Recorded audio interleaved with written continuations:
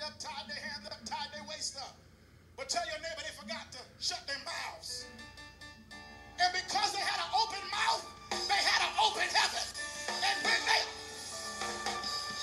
when they opened up their mouths and began to shout, there was a fourth man that showed up in the